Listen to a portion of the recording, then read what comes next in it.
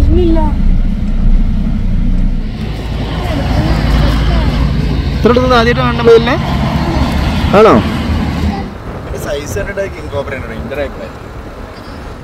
Welcome back അൻവറാണ് നമ്മളിപ്പോൾ ഉള്ളത് മസിനഗുഡിയിലാണ്. മസിനഗുഡിയിൽ നിന്ന് സിംഗാറിലേക്ക് പോകുന്ന വഴിയാണിത്. കർണാടകയിലെ ബന്ദിപ്പൂർ തമിഴ്നാട്ടിലെ മസിനഗുഡി അതുപോലെ മുതുമല കേരളത്തിലെ മുത്തങ്ങ. ഈ ഒരു ബെൽറ്റ് വന്യജീവികൾ വന്യജീവികളുടെ ഒരു ഹബ്ബാണ് അപ്പോൾ ഈ ഒരു എപ്പിസോഡിൽ നമ്മൾ മസിനഗുഡിയിലെ കാഴ്ചകളാണ് കാണുന്നത്. അപ്പോൾ എല്ലാവർക്കും പുതിയൊരു എപ്പിസോഡിലേക്ക് സ്വാഗതം.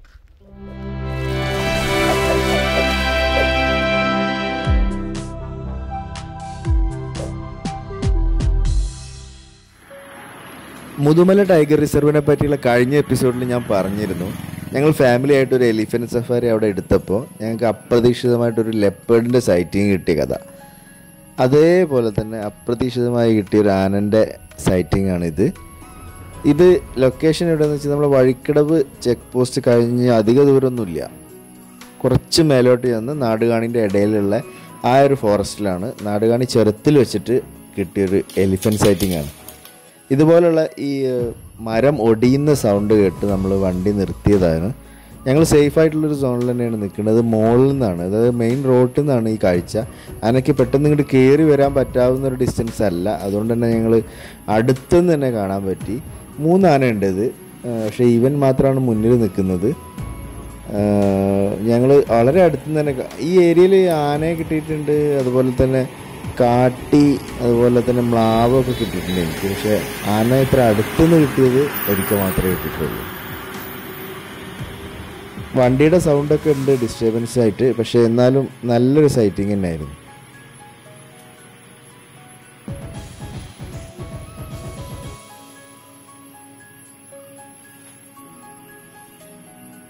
മുതുമലയാണ് കേട്ടോ. അത് മുതുമലയിൽ നിന്ന് നമ്മൾ പിന്നെ എന്താണ് ബസ്സിനോടി റോഡ് സ്റ്റാർട്ട് ചെയ്തു?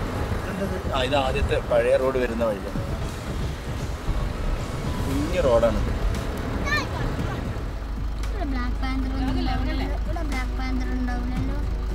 ഇവിടെ ബ്ലാക്ക് പാന്തർ ഇല്ല. കബനിയിലുണ്ട്. നാഗർഹോളെ. ആ അവിടെ കിട്ടാറുണ്ട്.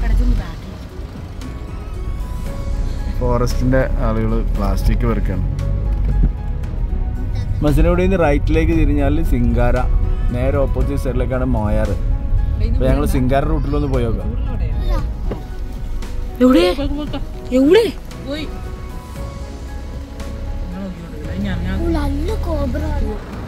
വലിയൊരു പാമ്പ് റോഡ് ക്രോസ് ചെയ്യുന്നുണ്ടായിരുന്നു ഞങ്ങൾ വണ്ടി ബ്രേക്ക് ചെയ്തിട്ടില്ലെങ്കിൽ അതിന്റെ മുകളിൽ കൂടെ കയറുന്നുള്ള സിറ്റുവേഷനിലായിരുന്നു.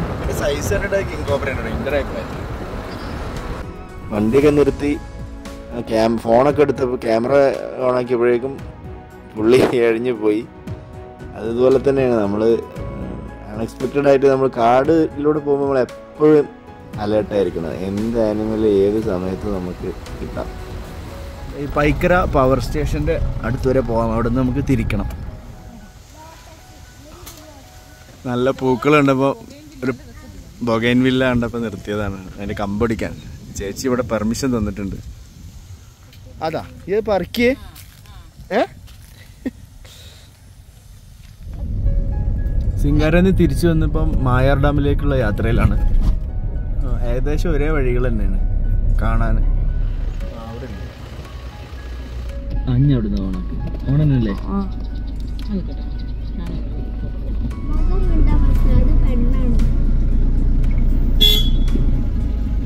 ആരോ ഹോൺ അടിച്ചപ്പോൾ ഞെട്ടിയത് കണ്ടില്ല. ഇതാണ് മായർ ഡാം.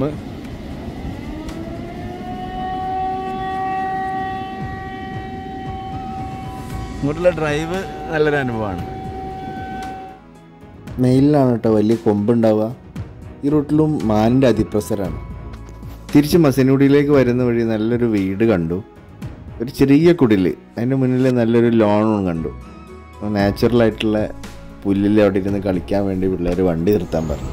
നാടൻ ചോറ്. എല്ലാത്തിനും കൂടെ നാടൻ ചേർത്താ കിടുവായി. എങ്ങനെയുണ്ട്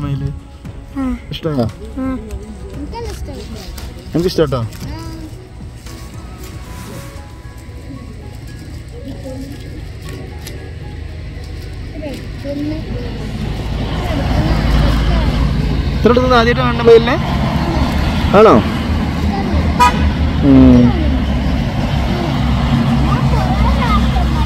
കണ്ടിട്ടുണ്ടോ? ഇത്ര അടുത്ത് കണ്ടിട്ടുണ്ടാവില്ല മയിലിനെ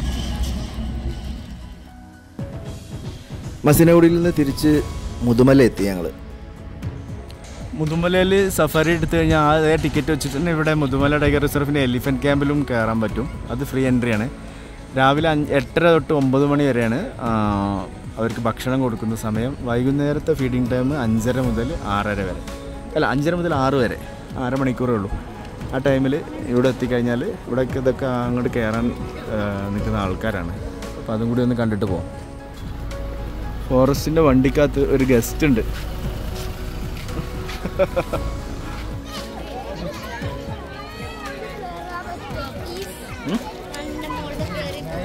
ആ കയറി പോവാം.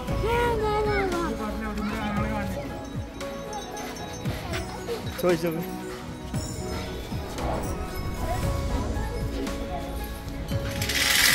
എല്ലാ ആനകളെയും വരിവരിയായി നിർത്തിയിട്ടുണ്ട്. ഓരോ ആനന്റെ പാപ്പാൻ വന്നിട്ട് അവർക്കുള്ള ഫുഡ് കൊടുക്കും. എലിഫന്റ് വിസ്പേഴ്സ് എന്ന് പറഞ്ഞ ഓസ്കർ അവാർഡിന് നേടിയ ചിത്രത്തിലുള്ള അഭിനയിച്ച ആനകളാണിത്. ഇതാണ് ബൊമ്മി ആൻഡ് രഘു. ഈ ആന മെയിലാണ് ബൊമ്മി അല്ല സോറി രഘു ആണിത് ഏഴ് വയസ്സ്. ഇതാണ് ബൊമ്മി ഫീമെയിൽ അഞ്ച് വയസ്സായി. മൂന്ന് വയസ്സിൽ അല്ല മൂന്ന് മാസത്തിൽ ഇത് അമ്മയിൽ നിന്ന് മാറി ഒറ്റപ്പെട്ട് ഇവിടെ എത്തിപ്പെട്ടതാണത്രേ. ആദ്യത്തെ തന്നെ ബൊമ്മിക്കുള്ളതാണ്. ഓരോ ആനന്റെ പേര് എഴുതി വെച്ചിട്ടുണ്ട്. കരിമ്പ് അതുപോലെ ഒരുപാട് ഐറ്റംസ് ഉണ്ട് അവർക്കുള്ള. ശർക്കര റൈസൊക്കെ ആയിരിക്കും. റാഗി.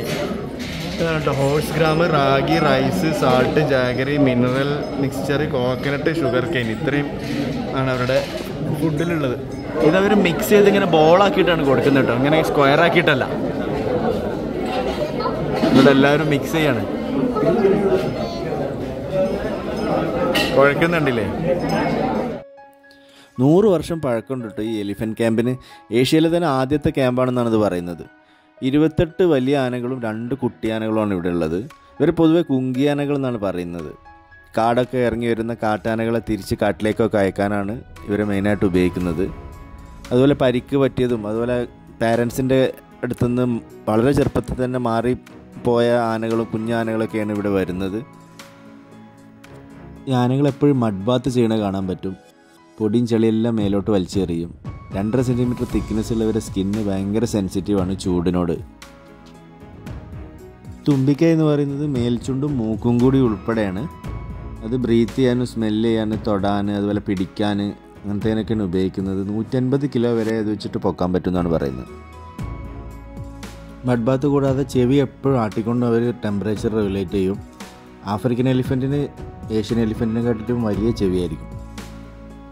ഇവർക്ക് മനുഷ്യന്റെ ശബ്ദവും ലാംഗ്വേജും ഒക്കെ തിരിച്ചറിയാൻ സാധിക്കും. അതുകൊണ്ടാണ് ഇവരെ ട്രെയിൻ ചെയ്യാൻ നമുക്ക് പറ്റുന്നത്. നിങ്ങൾ ഊട്ടിയിലേക്കോ അല്ലെങ്കിൽ മൈസൂരിലേക്കോ ഒക്കെ പോകുമ്പം രാവിലെ എട്ടരയ്ക്കോ അല്ലെങ്കിൽ വൈകുന്നേരം അഞ്ചരയ്ക്കോ ഒക്കെയാണ് ഈ മുതുമലയിൽ കൂടെ പാസ് ചെയ്യുന്നുണ്ടെങ്കിൽ ഇവിടെ നിർത്താൻ മറക്കരുത്. ആനകൾക്ക് ഈ ഫീഡൊക്കെ കൊടുക്കുന്നത് കാണാൻ നല്ലൊരു കാഴ്ചയാണ്. പ്രത്യേകിച്ച് കുട്ടികളുണ്ടെങ്കിൽ അവർക്കൊക്കെ നന്നായി എൻജോയ് ചെയ്യാൻ പറ്റും. മുതുമലയിൽ നിന്ന് ഞങ്ങൾ നേരെ ബന്ദിപ്പൂരിലേക്കാണ് പോയത്. റോഡ് സൈഡിൽ ഒരു കാട്ടാന നിൽക്കുന്നത് കണ്ടില്ലേ?